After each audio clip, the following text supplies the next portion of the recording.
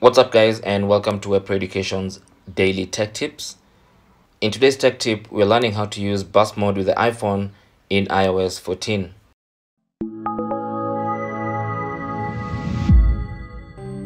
Before iOS 13, we used to tap and hold the shutter button and that will take burst mode photos and take lots and lots of photos before you let go of the shutter button. But then in iOS 13, Apple replaced that with a QuickTake video feature that lets you slide to the right to take a video straight from the photos. And that's a good feature, but then we needed burst mode and that got taken away. But then it came back in iOS 14, but it's no longer in the shutter button. So to get burst mode in iOS 14, the first thing you need to do is activate it in the settings. So go to settings and scroll all the way down to the camera settings.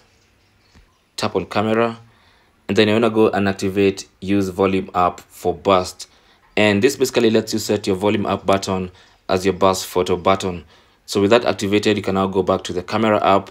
And now when you want to take burst photos all you need to do is press and hold the volume up button.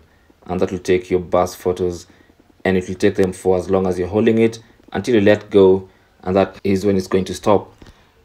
So you can go ahead and check out your burst photos and tap on select at the bottom there to scroll through and select your best photos from the burst photos.